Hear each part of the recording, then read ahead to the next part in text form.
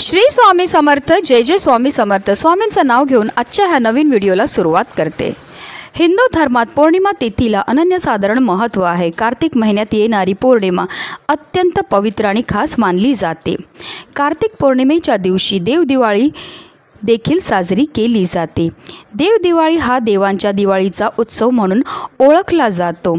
असे मानले जाते की कार्तिक पौर्णिमेच्या दिवशी भगवान शंकराने त्रिपुरासूर नावाच्या राक्षसाचा वध केला होता. त्रिपुरासुराचा अंत झाल्याच्या आनंदाने देवांनी संपूर्ण स्वर्ग दिव्याने उजळून टाकलं. त्यालाच दीपावलीचे स्वरूप देण्यात आले म्हणूनच कार्तिक पौर्णिमेला त्रिपुरी पौर्णिमा किंवा त्रिपुरारी पौर्णिमा असेही म्हणतात. आणि यंदा कार्तिक पौर्णिमेचे व्रत हे पंधरा नोव्हेंबर म्हणजेच शुक्रवारी केले जाणार आहे. तसेच कार्तिक पौर्णिमेच्या दिवशी दीपदानाचे सुद्धा विशेष महत्त्व आहे.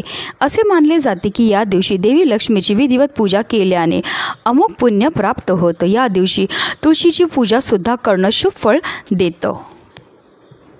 तसेच कार्तिक पौर्णिमेच्या दिवशी देवी लक्ष्मीला प्रसन्न करण्यासाठी चंद्राला अर्क द्यावा.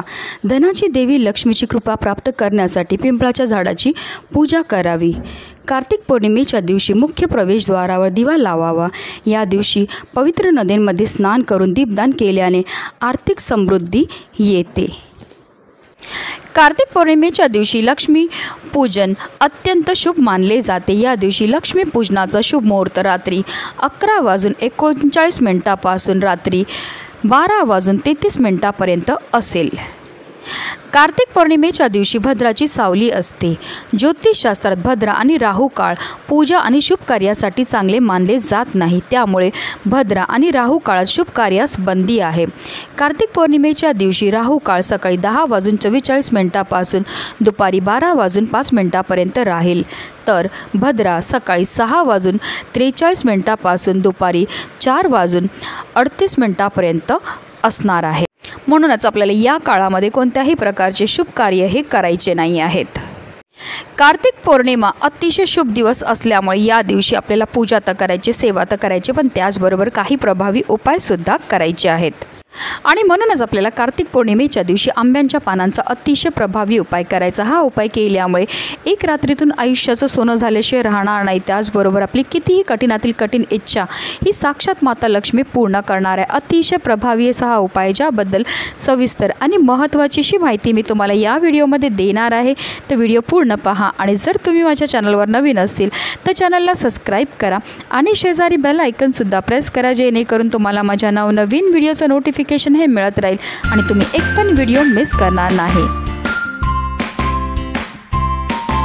कार्तिक पौर्णिमेला मुख्यत्व करून कार्तिकेय यांचे पूजन केले जाते. कार्तिकेय हे दक्षिण दिशेचे स्वामी आहेत असे मानले जाते. कार्तिक स्वामींचे दर्शन या दिवशी घेणं शुभ मानलं जातं. या दिवशी दीपदान केले जाते. आपल्यामुळे दुसऱ्यांच्या आयुष्यातील अंधार दूर व्हावा असा याचा उद्देश आहे. तुळशी विवाहाची सांगताही त्रिपुरारी पौर्णिमेलाच होते. कार्तिक पौर्णिमेला देशभरातील विविध भागांमध्ये जत्रा भरतात. पवित्र नद्यांमध्ये स्नान केले जाते. नदीत स्नान करणं शक्य नसेल तर गंगाजल मिश्रित पाण्याने स्नान करावे. यानंतर लक्ष्मीनारायणाचे पूजन करावे. लक्ष्मीनारायणाची षडशोपचार पूजा झाल्यानंतर तुपाचा दिवा लावावा. सत्यनारायण पूजन करणे या दिवशी उत्तम मानले जाते. सत्यनारायणाची पूजा शक्य नसेल तर सत्यनारायणाची कथा आवर्जून ऐकावी. या दिवशी श्रीहरी विष्णू आणि माता लक्ष्मींना खिरीचा नैवेद्य दाखवावा. सायंकाळी पुन्हा लक्ष्मीनारायणाची आरती करावी. सकाळी देवपूजा करून झाल्यानंतर आपल्याला लगेचच हा उपाय जो आहे तो करायचा आहे जेव्हा आपण पूजा करतो त्याचबरोबर काही उपाय करतो त्यामुळे आपल्याला केलेल्या उपायाचं अनन्यपटीने पुण्यफळ हे प्राप्त होत असतं. आणि म्हणूनच आपल्याला त्रिपुरा पौर्णिमेच्या दिवशी आंब्यांच्या अकरापणांचा हा प्रभावी उपाय करायचा आहे. आपल्याला काय करायचं आहे सकाळीच आंब्याची अकरा आपल्या घरी घेऊन यायची ही आंब्याची अकरा जी आपण घरी घेऊन येणार आहेत ती आपल्याला व्यवस्थित पाहून घ्यायची ती अखंड असावी. कुठेही तुटलेली फाटलेली किंवा खराब झालेली नसावी. आता ही पानं आपल्या घरी आणल्यानंतर ह्या पानांना आपल्याला स्वच्छ धुवून आणि पुसून घ्यायचं आहे. त्यानंतर आपल्याला एक प्लेट घ्यायची. त्या प्लेटमध्ये आपल्याला थोडंसं हळद आणि कुंकू घ्यायचं आणि त्यामध्ये थोडंसं पाणी टाकून त्याचा गंध हा तयार करून घ्यायचा आणि आंब्याच्या पानाच्याच काडीने आपल्याला ह्या आंब्याच्या प्रत्येक पानावर एक स्वास्तिक हे काढून घ्यायचं आहे. कारण स्वास्तिक हे मांगल्याचं प्रतीक आहे. आता प्रत्येक आंब्याच्या पानावर आपण स्वास्तिक काढल्यानंतर ह्या आंब्याच्या पानांपासून आपल्याला एक तोरण हे तयार करून घ्यायचं आहे. सर्वप्रथम आपल्या घराचा मुख्य प्रवेशद्वार आपल्याला स्वच्छ पुसून घ्यायचं आहे.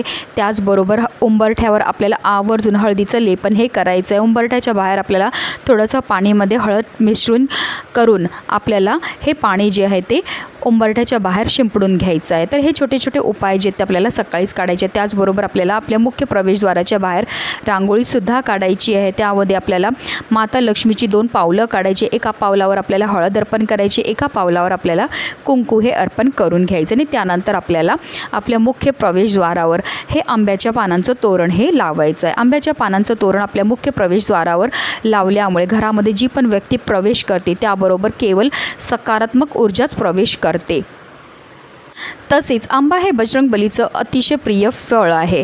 आणि जेव्हा आपण आंब्यापासून किंवा आंब्याच्या पानांपासून काही उपाय केले जातात किंवा सेवा केल्या जातात त्या घरावर विशेषतः बजरंग बलीची कृपाही होत असते. त्या घरावर कधीही कोणत्याही प्रकारच्या वाईट शक्ती किंवा वाईट गोष्टींचा प्रभाव हा पडत नाही. आणि आंब्यांच्या पानांना साक्षात महादेवाने वरदान दिलेलं आहे की ज्या घरामध्ये पण आंब्यांच्या पानांपासून कोणतेही उपाय किंवा सेवा ह्या केल्या जातील त्या घरामध्ये अखंड माता लक्ष्मीची कृपाही होणार आहे. उपाय अतिशय साधा आहे पण त्याचा प्रभाव एवढा मोठा आहे की आपल्या घरामध्ये असणारी जेवढी पण नकारात्मकता इडा पिढ्या वाईट शक्तींचा प्रभाव आहे. ओ लक्ष्मी ते घरातनं काढता पाय करून निघून जाते आणि माता लक्ष्मीचं अखंड आगमन आपल्या घरामध्ये होत असतं. त्याचबरोबर जर तुमच्यावर कर्ज झालं असेल पैसे येण्याचे अनेक मार्ग जे आहेत ते बंद झालेले असतील ज्यामुळे तुमच्या घरामध्ये दारिद्र्य हे आलं असेल तर पौर्णिमेच्या दिवशी आवर्जून तुम्हाला हा एक उपायसुद्धा करायचा आहे. आपल्याला काय करायचं आहे? आंब्यांची अकरा पानं घ्यायची ती पानं स्वच्छ धुवून पुसून घ्यायची आणि त्यानंतर ही आंब्याची पानं जी आहेत ती एकावर एक ठेवायची आणि त्या त्याची आपल्याला एक जोडी ही व्हाईट कॉटनचा जो धागा असतो त्याने बनवून घ्यायची आहे. आणि त्यानंतर ह्या आंब्याच्या पानांना आपल्याला मधामध्ये बुडवायचं. अगदी मधाच्या मध्ये पूर्ण बुडवायची गरज नाही आहे थोडंसं मध जे आहे प्रत्येक पानाला लागेल एवढं आपल्याला मध ह्या पानांना लावून घ्यायचं आहे.